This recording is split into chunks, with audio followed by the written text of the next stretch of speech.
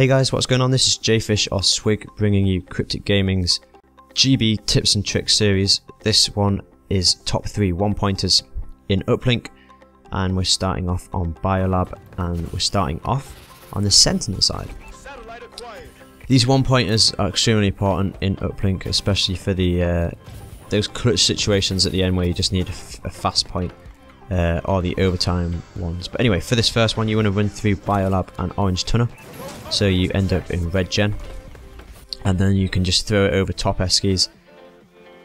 If you ever find yourself in Red Gen, you can use that throw as well. It's really effective because you don't have to go anywhere near the portal. You can just chuck it right over that building. Number two, you want to wait for this yellow building to come down, and then run through it, mantle on the window, and then jump up and it's a simple throw into the uplink and you've got yourself one point. Number one for this sentinel side you want to pick the satellite off its reset position and then run straight through purple into biolab and jump out of the window. This one is extremely effective. It takes like five or six seconds to do so. If you get two or three of the enemy team down you can just call that your objective player can get the ball or whoever and um, yeah, get that point extremely quickly.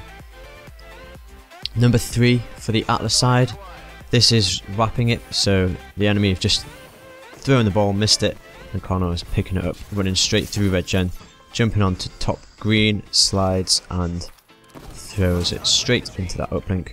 Easy one point. Very effective.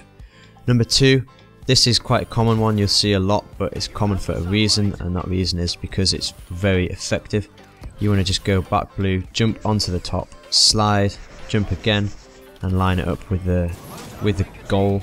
And um, yeah, that one pointer is very reliable. Number one, this is insane. This one, you want to just you can jump top crane if you get it right sometimes.